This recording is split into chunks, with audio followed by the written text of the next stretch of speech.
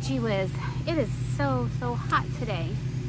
We are working out in the garden, um, just weeding out the raised beds that were a mess and getting ready to do a huge cover crop of different beans, green beans, peas, black-eyed peas, field peas, cow peas, just all different varieties of uh,